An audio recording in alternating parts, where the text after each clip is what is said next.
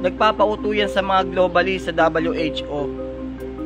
Pero sa totoo lang, ang mga record nila na COVID cases, hindi totoo yan. Gawa-gawa nga lang ba ng globalists ang COVID-19? May kinalaman ba si Bill Gates sa pagsulpot ng sakit na ito? Weh, yung totoo.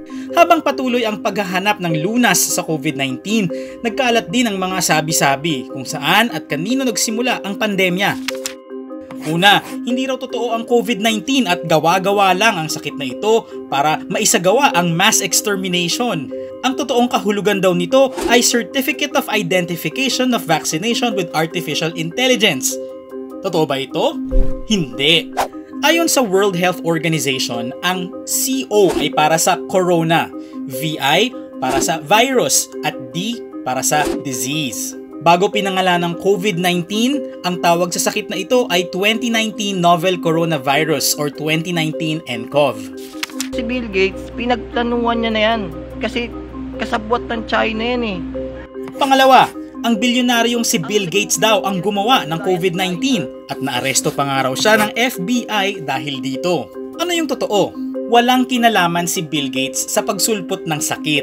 Ang COVID-19 ay nagmula sa Wuhan, China noong December 2019. Ang totoo, ang litratong di umano ay nagpakita na inaresto ng FBI si Gates ay litrato ng pag-aresto ng Amerikanong mobster na si Vincent Asaro noong 2014. Ang ginawa ng mga namimeke, ipinatong ang mukha ni Gates sa mukha ni Asaro. Pangatlo, magkakaroon din daw ng microchips ang mga bakuna para sa COVID-19 at si Bill Gates din daw ang nasa likod nito. Magiging sapilitan din daw ang paglalagay ng mga ito sa katawan ng mga tao sa bisa ng US House Resolution 6666. Totoo ba ito? Walang pag-aaral na nagsasabing lalagyan ng microchips ang mga bakuna para sa COVID-19. Nagsimula ang mga chismis nitong March 2020 nang sumali si Bill Gates sa isang question and answer session sa Reddit tungkol sa COVID-19. Ngunit wala namang binanggit ang bilyonaryo tungkol sa microchips. Ang US House Resolution 6666 ay wala ring binanggit tungkol sa sapilitang paglalagay ng microchips at wala ring kinalaman si Bill Gates sa pagbuo nito. Pang-apat, may kinalaman daw ang 5G networks sa pagkalat ng virus. Yung totoo, kumakalat ang virus na nagdudulot ng COVID-19 sa pamamagitan ng respiratory droplets. Transmission that we know about is that people who have symptoms transmit the virus to other people through infectious droplets. Binigyang diin din ng World Health Organization na hindi kayang maglakbay ng mga virus sa pamamagitan ng radio waves o mobile networks. At panlima, Pinaalis daw ng Tanzania sa kanilang bansa ang World Health Organization dahil sa kawalan ng tiwala sa organisasyon.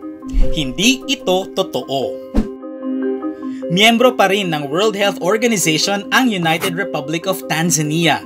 Bagamat kinwestiyon nga ni Tanzanian President John Magufuli ang kalidad ng COVID-19 test kits na galing sa ahensya, hindi pinatalsik ng Tanzania ang World Health Organization sa kanilang bansa. Ayan mga kaibigan, ang lima lamang sa conspiracy theories tungkol sa COVID-19 na napatunayang hindi totoo. May nakita ka bang kaduda-dudang impormasyon tungkol sa COVID-19? Magpadala ng link at screenshot nito sa factcheck at rappler.com.